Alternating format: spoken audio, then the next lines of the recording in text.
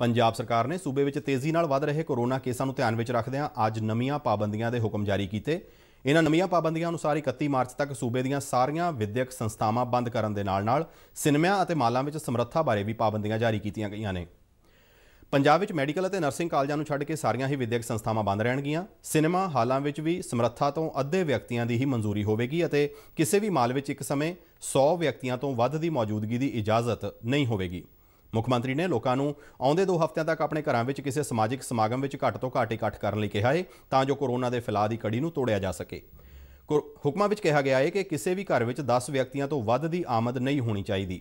ਸੂਬੇ ਦੇ ਕੋਰੋਨਾ ਨਾਲ ਬੁਰੀ ਤਰ੍ਹਾਂ ਪ੍ਰਭਾਵਿਤ 11 ਜ਼ਿਲ੍ਹਿਆਂ ਵਿੱਚ ਹਰ ਤਰ੍ਹਾਂ ਦੇ ਸਮਾਜਿਕ ਇਕੱਠ ਅਤੇ ਸਬੰਧਤ ਸਮਾਗਮਾਂ ਤੇ ਪੂਰਨ ਤੌਰ ਤੇ ਪਾਬੰਦੀ ਲਗਾ ਦਿੱਤੀ ਗਈ ਹੈ ਦਾਹ ਸੰਸਕਾਰ ਅਤੇ ਵਿਆਹ ਸ਼ਾਦੀਆਂ ਨੂੰ ਇਹਨਾਂ ਪਾਬੰਦੀਆਂ ਤੋਂ ਬਾਹਰ ਰੱਖਿਆ ਗਿਆ ਹੈ ਇਹਨਾਂ ਮੌਕਿਆਂ ਤੇ ਲੋਕਾਂ ਦੀ ਹਾਜ਼ਰੀ 20 ਤੋਂ ਵੱਧ ਨਹੀਂ ਹੋਣੀ ਚਾਹੀਦੀ।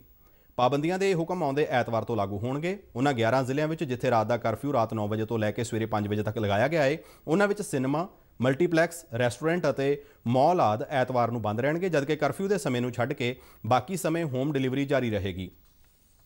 ਮੁੱਖ ਮੰਤਰੀ ਨੇ ਕਿਹਾ ਕਿ ਸਨਅਤਾਂ ਅਤੇ ਜ਼ਰੂਰੀ ਸੇਵਾਵਾਂ ਦਾ ਕੰਮ ਜਾਰੀ ਰਹੇਗਾ। 11 ਵਧੇਰੇ ਪ੍ਰਭਾਵਿਤ ਜ਼ਿਲ੍ਹਿਆਂ, ਲੁਧਿਆਣਾ, ਜਲੰਧਰ, ਪਟਿਆਲਾ, ਮੋਹਾਲੀ, ਅੰਮ੍ਰਿਤਸਰ, ਹੁਸ਼ਿਆਰਪੁਰ, ਕਪੂਰਥਲਾ ਐਸਬੀਐਸ ਨਗਰ, ਫਤਿਹਗੜ੍ਹ ਸਾਹਿਬ, ਰੋਪੜ ਅਤੇ ਮੋਗਾ ਵਿੱਚ ਸਰਕਾਰੀ ਦਫ਼ਤਰਾਂ ਵਿੱਚ ਪਬਲਿਕ ਡੀਲਿੰਗ ਤੇ ਪਾਬੰਦੀਆਂ ਦੇ ਹੁਕਮ ਜਾਰੀ ਕੀਤੇ ਗਏ ਨੇ ਅਤੇ ਨਾਗਰਿਕਾਂ ਨੂੰ ਸਿਰਫ ਜ਼ਰੂਰੀ ਸੇਵਾਵਾਂ ਲਈ ਹੀ ਦਫ਼ਤਰ ਆਉਣ ਲਈ ਕਿਹਾ ਗਿਆ ਹੈ ਮੁੱਖ ਮੰਤਰੀ ਨੇ ਅਧਿਕਾਰੀਆਂ ਨੂੰ ਕਿਹਾ ਕਿ ਉਹ ਲੋਕਾਂ ਨੂੰ ਆਨਲਾਈਨ ਅਤੇ ਵਰਚੁਅਲ ਮੋਡ ਰਾਹੀਂ ਆਪਣੀਆਂ ਸ਼ਿਕਾਇਤਾਂ ਦੇ ਨਿਪਟਾਰੇ ਲਈ ਉਤਸ਼ਾਹਿਤ ਕਰਨ।